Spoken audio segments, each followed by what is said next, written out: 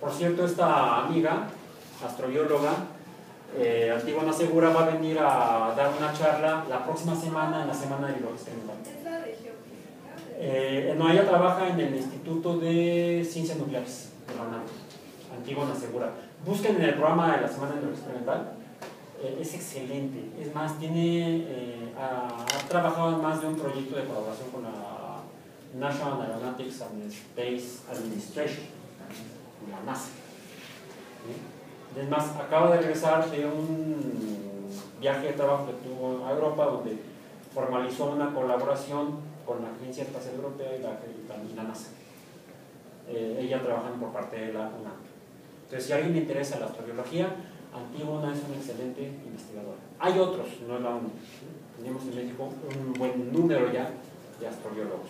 Es más, no exactamente astrobiólogos, pero sí expertos en estudios de atmósferas planetarias. Los tenemos también en la UAM, en la mía Escaposalco. Eh, el profesor. Eh, ay, se me su nombre. Se les digo el nombre de este profesor. Mm, mm, mm. Rápidamente, déjenme lo busco aquí.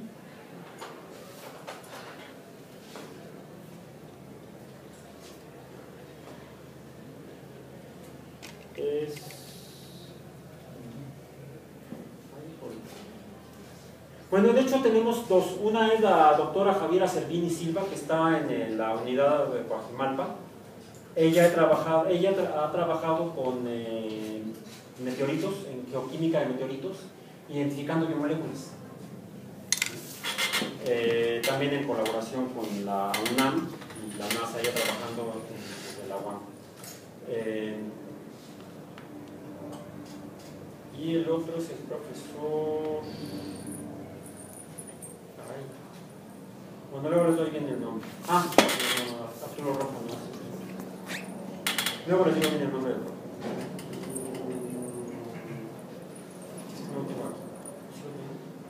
No lo encuentro acá. Para ya no, no seguir más tiempo en esto. Vamos a continuar acá.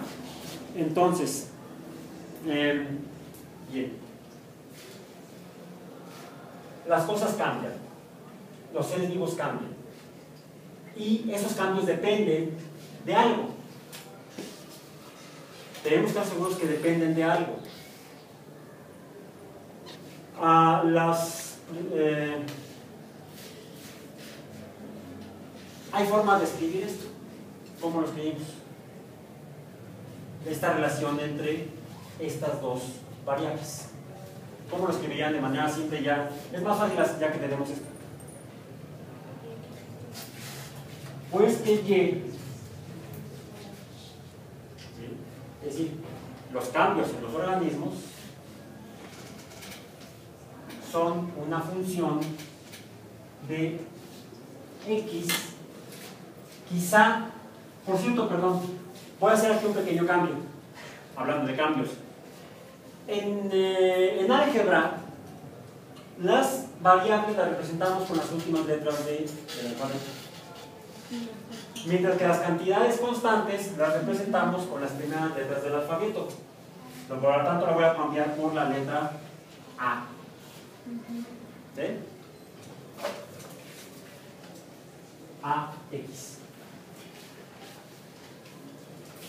Los cambios en los organismos dependen del entorno y de algunas propiedades constantes del entorno. Ahora, estas constantes también podrían tener ciertas limitaciones.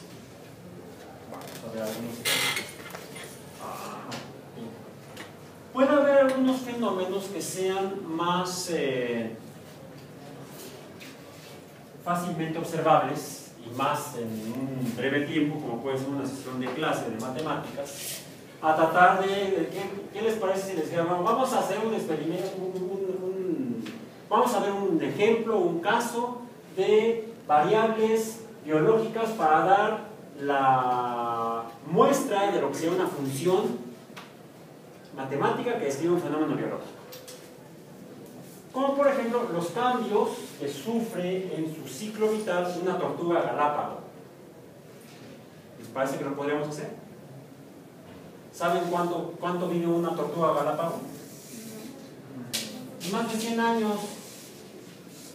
Podríamos estudiar entonces en una clase eh, los cambios de una tortuga galápago. No, está un poco difícil. Vamos entonces a hacer un experimento un poco diferente.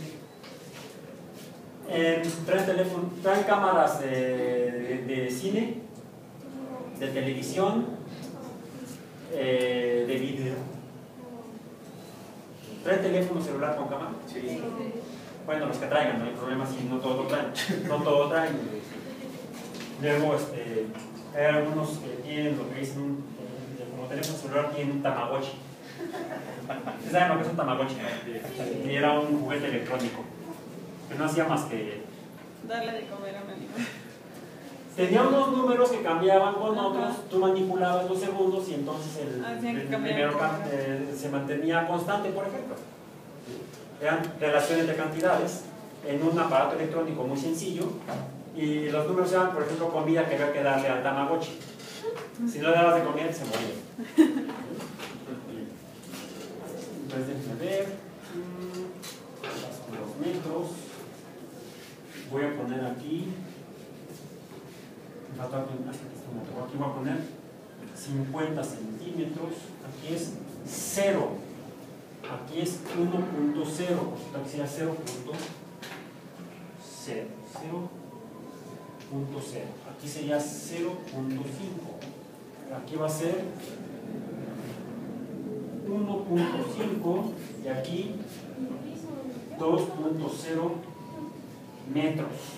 ¿Correcto? Correcto. Bien. Vamos a hacer un experimento rápido.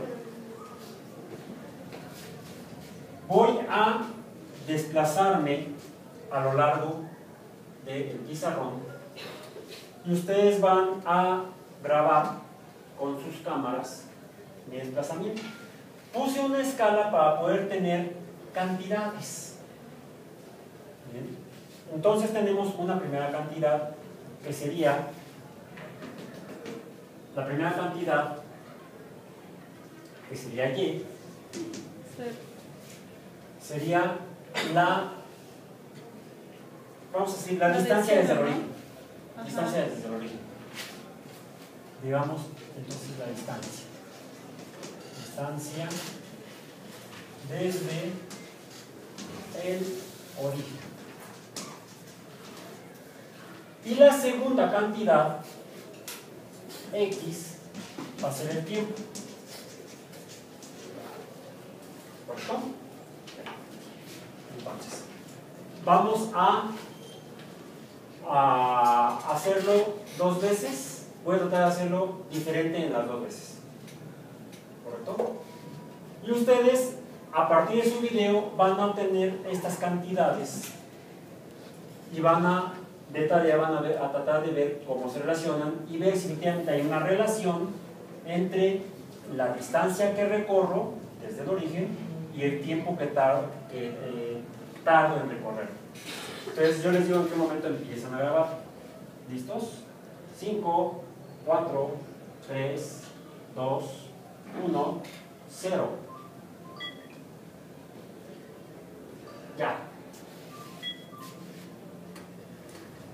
Eh, ese fue el primer experimento. Ahora va a ser un poco diferente. 5, 4, 3, 2, 1, 0. Ya. ¿Correcto? Descarguen sus videos en sus dispositivos, computadoras, procesadores, como le quieran llamar. Ordenadores, les dicen en otros lados. No sé por qué, porque no ordenan nada. Hacen cálculos, a esos cálculos se les llama cómputo. Por cierto, en algunos centros de investigación, las personas que hacían los cómputos más complicados, por ejemplo, en investigación astrofísica o en investigación eh, en física nuclear, estoy hablando de la primera mitad del siglo XX hasta alrededor de la Segunda Guerra Mundial, eran principalmente mujeres. Por eso se llaman computadoras. Sí, o sea, las computadoras, las computadoras eran ellas. No, no, no, no, no. Y de hecho, computer en inglés es femenino. ¿Correcto? Entonces, menor razón para llamarles ordenadores. Porque de hecho, ninguna computadora está diseñada para ordenar. Lo que hace básicamente son operaciones numéricas, cálculos, cómputos numéricos. Y a través de esos cómputos descritos en funciones, podrían en un momento dado ordenar información, ordenar datos. Pero lo primero que hacen son cómputos, son computadores. Terminemos entonces esta parte. Vamos a, este es un ejercicio de tarea. Vamos a hacer rápidamente un ejercicio ahora ya con datos reales, con números reales. Y para eso voy a, voy a ocupar este pedacito para no tener que borrar todo. Antes mostrando en el pizarrón sí, unos números, los cuales están en, en ese vínculo que pusimos en la página del, del grupo.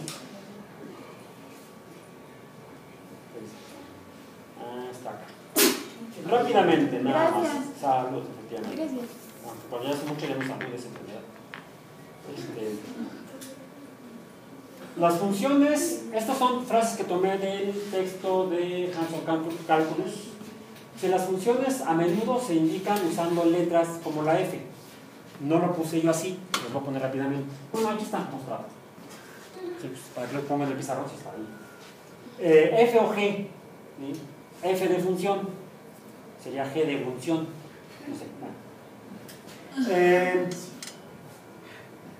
y se le da un valor numérico, es lo que es el input, da input.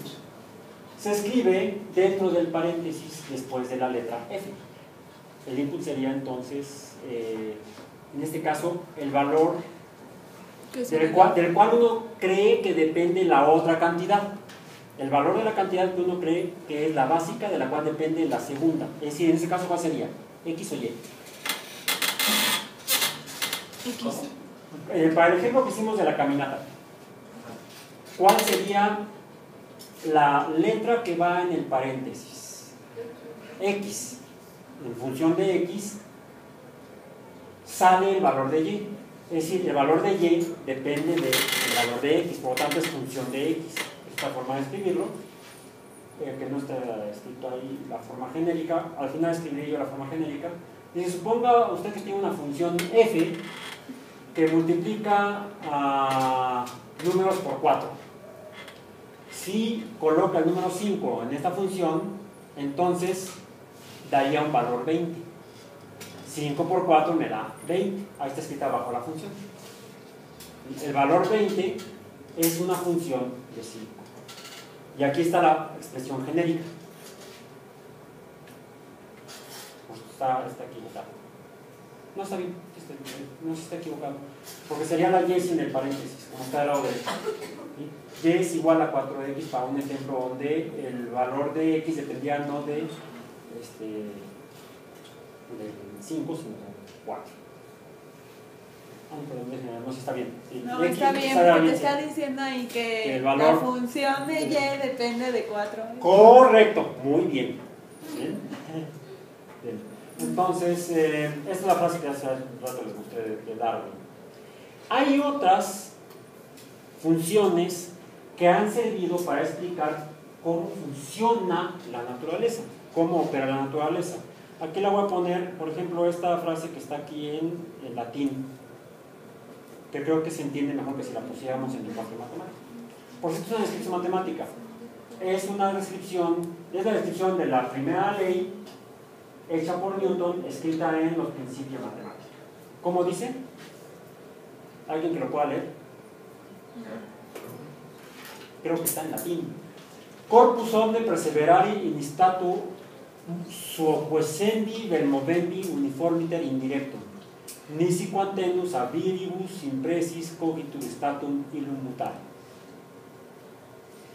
Lo que dice ahí es que Telcel, el iPhone.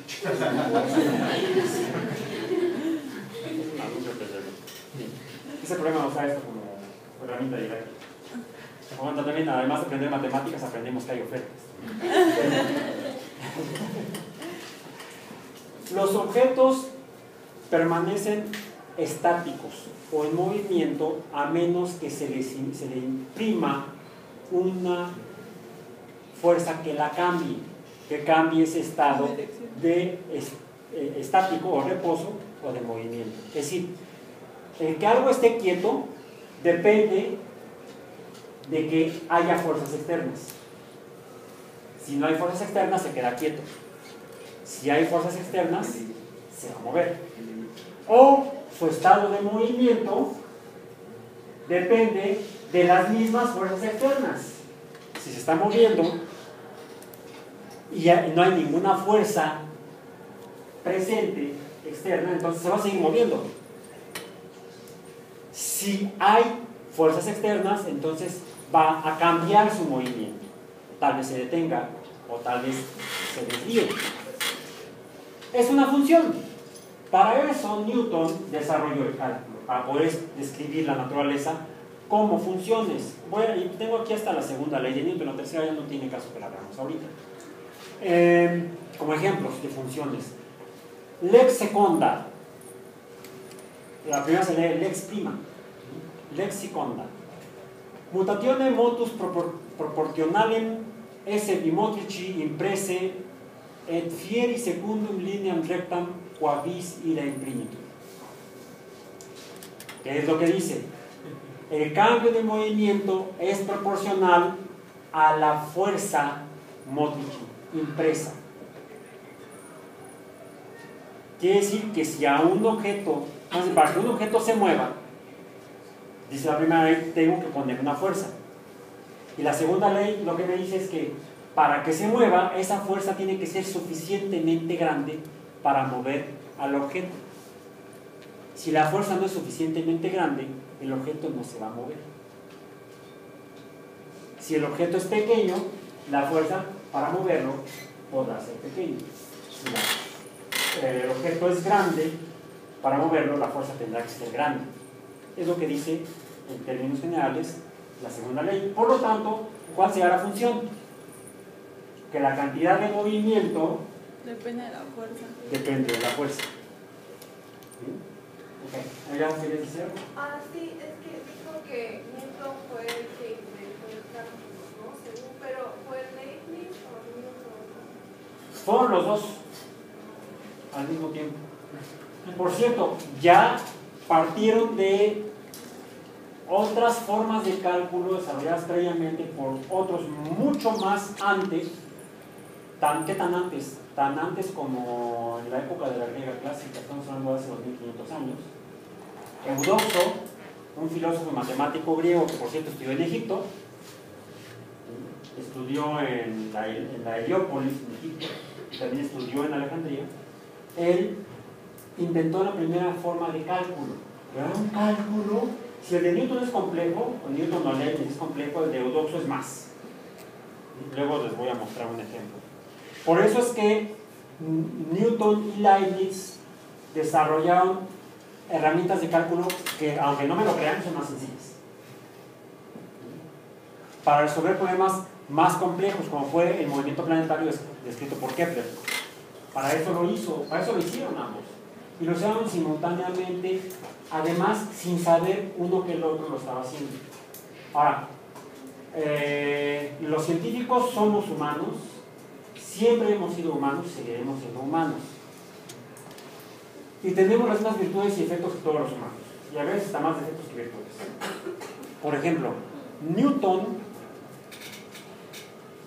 tenía muchos problemas personales y tenía ciertas, digamos, frustraciones, todos los humanos tenemos frustraciones. Eh, pero llegó a tener eh, cierto poder dentro de la comunidad científica, llegó a ser eh, presidente de la academia, de la Royal Academy of Sciences, a la muerte de, de Hooke. De hecho, él y, él y Robert Hooke eran enemigos, enemigos a, casi a muerte porque se acusaban mutuamente de piratearse las ideas. Pero lo que imperaba eran las evidencias, las pruebas. Muchas veces, y fue algo que más coraje le daba a Newton, eh, eh, Newton publicaba algo o anunciaba algo en la academia y Robert Hooke decía, yo ya lo hice antes. Y entonces entraba el conflicto humano personal. Y entonces lo que le decían los demás académicos, bueno, enséñenos, los enséñenos el trabajo. Muchas veces Hooke no los podía mostrar. Andaba nada más bloqueando como cuando uno jugaba póker. No sé si jugaba póker o Newton, pero sí, se metía cada zancadilla. Y cuando uh, Newton llegó a ser presidente de la academia, bloqueó a la Sí. Sí. Fue un científico virtuosísimo, magnífico. Muchos dicen el científico más grande que ha caminado sobre la Tierra. Yo no estoy seguro, no lo sé. Para mí es algo muy humano y no lo juzgo como tal, por, por, lo mismo. Pero no, si como científico era genial, como humano era genial. ¿sí? Y bueno, son personalidades. Fue un desarrollo simultáneo. Que por cierto, aunque aunque usamos el, mucho del cálculo de Newton, finalmente desarrollamos, usamos más el cálculo de Newton que por Leibniz, el nombre que usamos de cálculo integral diferencial es el nombre que le dio Leibniz, no Newton. Entonces usamos el cálculo de Newton con el nombre de Leibniz, para berrinche de Newton. Ok, entonces vamos al, al, otro ejercicio que queremos que vamos a hacer. Y para eso era la, el otro apunte que puse yo aquí este de aquí, no, este no. Y tengo que pasar al, a los documentales. Es este. Que tirar el anterior, tampoco. Es aquí. Si ya nos queremos ir. Sí, tengo clase ahorita. Bueno, no ahorita, tengo clase a las 12 y tengo que salir por que parar. No puedo dar vuelta. No voy a hacer más clase. Correcto.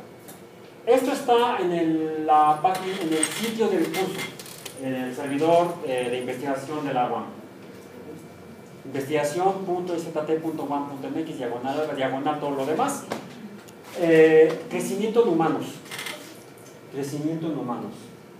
Em, grafique los datos de cada tabla a mano con lápiz y papel milimétrico. ¿Sí trajeron papel milimétrico? ¿Sí? Bueno, si no lo traen, pueden hacerlo en papel, hojas cuadriculadas. es mejor el cuadro chico que el cuadro grande para estas cosas en sus cuadernos. De preferencia, en adelante traigan papel milimétrico, porque es más preciso, es, más, eh, es menor el error al hacer gráficos en papel milimétrico que al hacer gráficos en otros papeles cuadriculados. No se diga en papeles este, sin, referencia, como papel blanco. Eh, y en esta página podemos tener acceso a datos sobre fenómenos fisiológicos, que de hecho es, por ejemplo, el crecimiento en humanos, como le llaman los pediatras, peso, los médicos le llaman peso, en física el peso es una fuerza, cuando el médico en realidad se está refiriendo a la cantidad de materia o masa en el paciente, en el individuo. Entonces, científicamente el concepto es masa, aunque los médicos le digan este, peso. De hecho, la medicina no es una ciencia, es más bien un arte que utiliza en el siglo XXI o debiera utilizar en el siglo XXI ciencia. Todavía algunos usan magia. No sé, desde imanes y eh, pases mágicos con las manos. Se llama medicina cuántica. Más bien es cuántica, como los cuentos. ¿Eh? Fíjate que hay resultados que tal vez pudieran explicarse con base en, eh, leyes de la ciencia y otras no. Los chochos, a mí me gustan mucho las galletas con chochitos. Ese pan así redondo que pan con chochos o También me gustan esos. No sé si te refieres a los chochos homeopáticos. Ah, no le digas a un médico homeopata chochos porque te, te da un medicamento homeopático, homeopático pero sin diluir.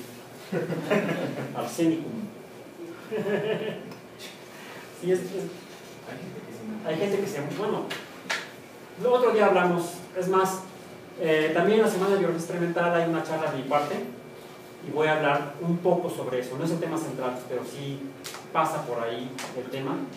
Eh, la conferencia se llama eh, 100... Voy a poner aquí, no, Acá voy a poner el nombre de la conferencia.